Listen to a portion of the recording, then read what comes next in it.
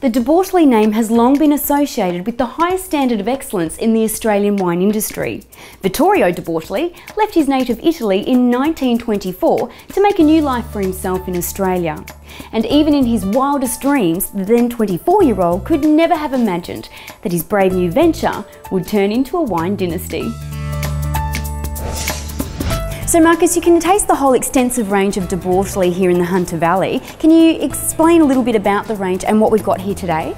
Yeah, sure. I mean, De Bortoli are the sixth largest uh, wine company in Australia, second largest family owned, and we, we make a lot of wine. And we have uh, over 60 wines for sale here at the cellar door, and currently 27 of them are for tasting. Um, the two I've chosen today, we've got um, the Murphy Vineyard Estate Grown Semillon, it's grown here in the Hunter, made here in the Hunter, and only sold at this cellar door.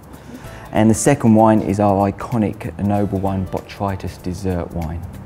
Lovely. Well, let's have a taste. I think we should.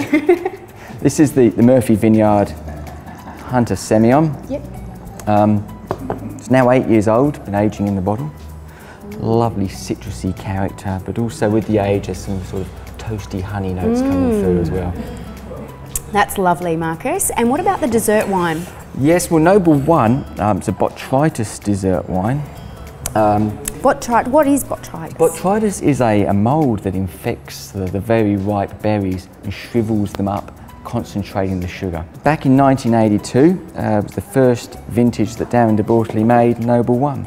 Got lovely flavours of citrus, um, I think marmalade and honey, mm. but there's also great refreshing acidity and with uh, a fruit-based dessert, cream caramel or cheese platter. Outstanding. The De Bortoli family motto is always striving for better, and it seems like the doctrine is being upheld because each bottle of De Bortoli wine seems to taste even better than the last.